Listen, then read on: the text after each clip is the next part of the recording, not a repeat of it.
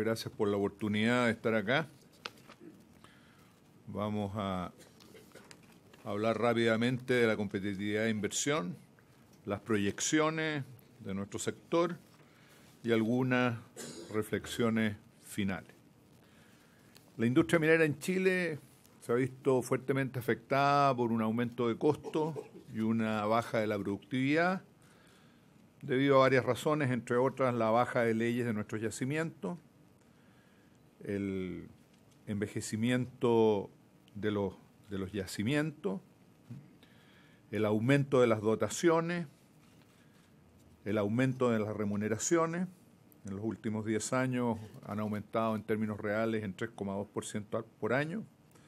Los temas bien conocidos de agua y de energía y de, particularmente de costo de energía. Y eh, debido a un periodo de altos precios del cobre, la lentitud por parte nuestra en revisar nuestras prácticas de trabajo y en reaccionar a las circunstancias que describí antes.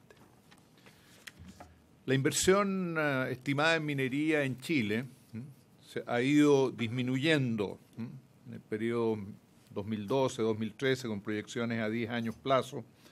Uh, veíamos que eran uh, superiores a 100 mil dólares, a 100 mil millones de dólares, lo, lo, que estaba en la cartera de proyectos, en un periodo con precios altos y en el mercado mundial con mucho más apetito eh, y recursos para inversiones que proyectos en cartera.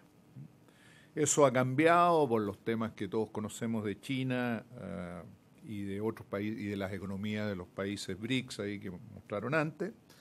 Y esto hoy día en la cartera de proyectos se supone que está en alrededor de 77 mil millones de dólares. Eso es lo que se podría desarrollar en el futuro.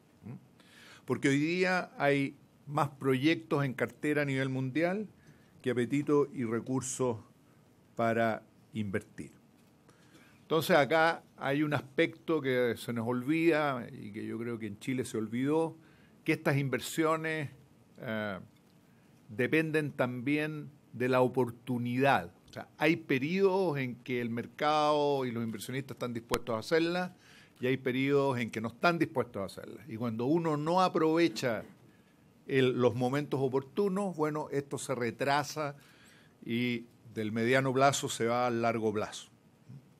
¿Y por qué eh, hemos sido lentos acá? Bueno, entre otras cosas, en los atrasos en las aprobaciones, los permisos ambientales eh, y la creciente complejidad, el aumento de la complejidad en nuestra legislación.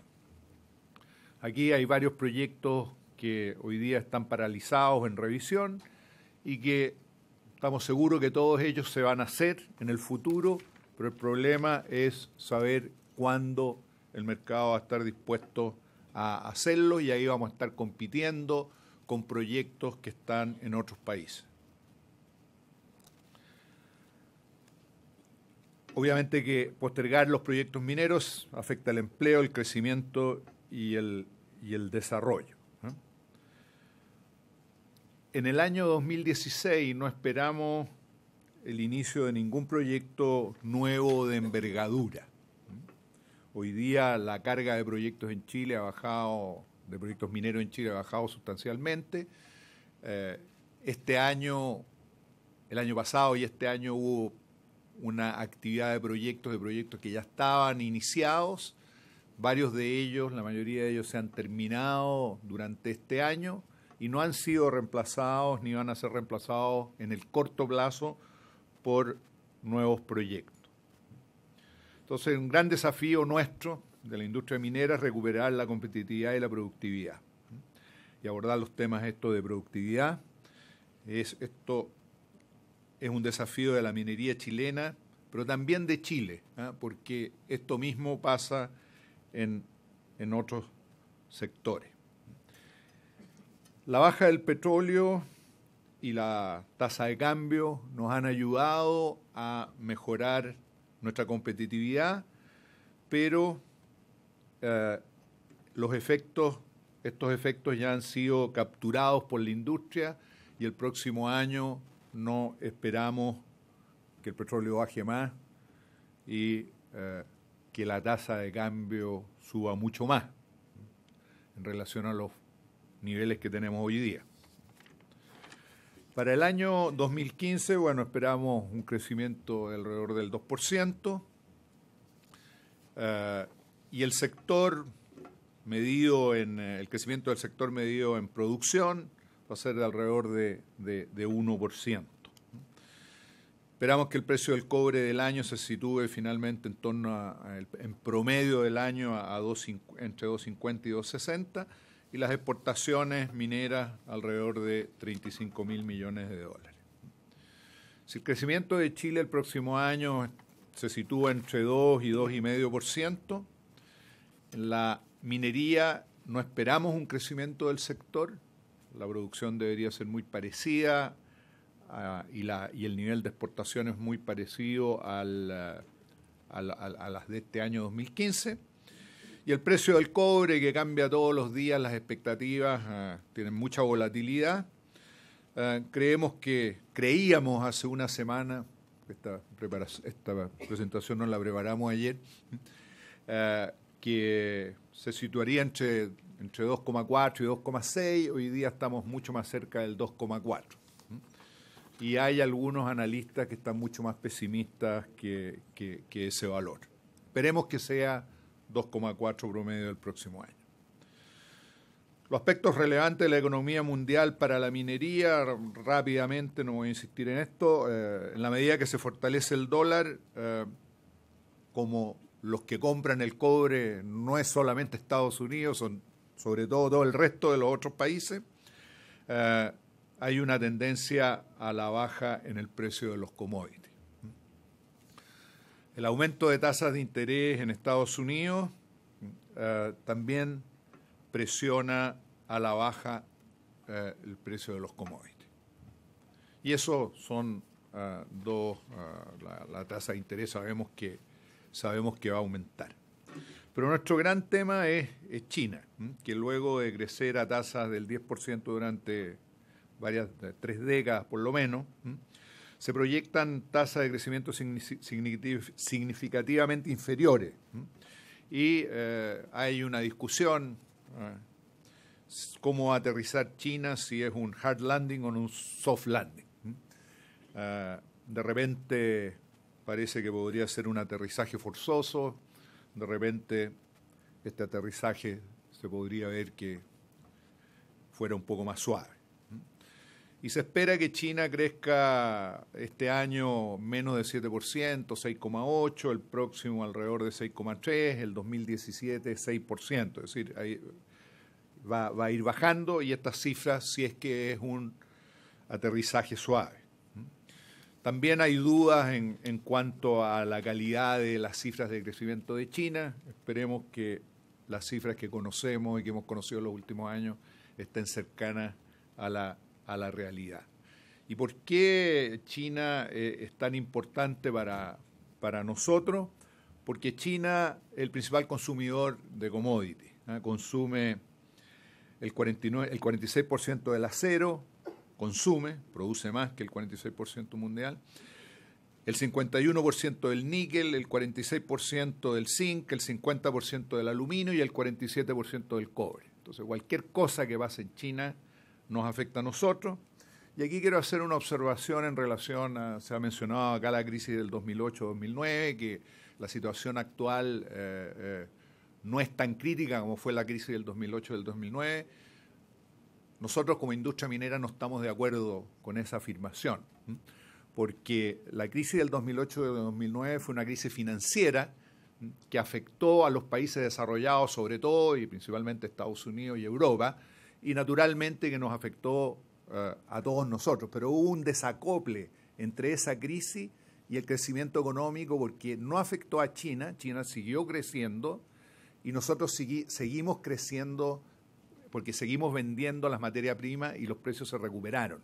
Es decir, la crisis del 2008 y del 2009 afectó a la industria minera por unos seis meses. Hoy día la situación en términos de commodity y precio de los commodities se ve mucho peor. Y cómo eso afecta a Chile, yo creo que lo afecta en forma muy importante. ¿Qué, se requiere para impulsar la inversión y el crecimiento? Bueno, lo que todos sabemos y lo que se ha dicho antes. Ojalá que el gobierno y el país puedan definir en forma precisa la dirección a seguir, qué es lo que queremos como desarrollo, que continúe el orden público y el respeto al Estado de Derecho, que se ha, visto un poquitito afectado, sobre todo en el caso de judicializaciones que nos han afectado como industria, y que haya un impulso a la inversión minera y que lamentablemente este impulso no va a producir resultados en el corto plazo. Yo creo que los próximos dos o tres años o lo que resta del periodo del gobierno actual, ¿eh? la minería no se va a recuperar. La, minería va, lo que tenemos que tratar de hacer es mantenerla y, estar preparados cuando los precios de los commodities empiecen a subir y nosotros creemos que el cobre, el precio del cobre va a ser el primer precio del commodity que va a subir, porque es donde la oferta y la demanda va a estar más apretada, pero ¿cuándo va a subir? Probablemente si somos optimistas, a fines del 2017, tal vez el 2018 o el 2019, pero va a subir, va a subir. Ah, y eh, va a ser un periodo donde la capacidad instalada de producción y los nuevos proyectos que se puedan hacer van a ser muy rentables. Y tenemos que estar preparados para eso. Pero vemos que en general y sobre todo en situaciones complicadas como la actual, se mira mucho el corto plazo y se posterga el largo plazo. Y lo que nosotros necesitamos es tomar medidas ahora para asegurar el largo plazo. Acuerdos amplios en un horizonte de largo plazo con estabilidad de reglas y certeza jurídica, revisión global del sistema regulatorio, acelerar el otorgamiento de permisos que hay que entregarlos en los próximos dos años para que los proyectos se puedan hacer en tres o cuatro años más. Las condiciones para incrementar la oferta de insumos críticos como energía eléctrica y agua, eso hay que ir solucionándolo antes. Y otros temas que parecen menores pero que nos han afectado mucho, entre otros el de regular y definir la aplicación del convenio 169 de la, de la OIT. Es decir, eh, volver a restablecer lo que hizo que toda esta inversión minera que, tenemos, que hemos tenido en los, últimos, en los últimos años pueda continuar. El crecimiento de la minería en el periodo 1990-2004, que fue el mejor, el, el periodo de más crecimiento de nuestra producción, teníamos una legislación minera adecuada, un incentivo a la inversión extranjera, reglas claras y respeto al Estado de Derecho y bajo riesgo país.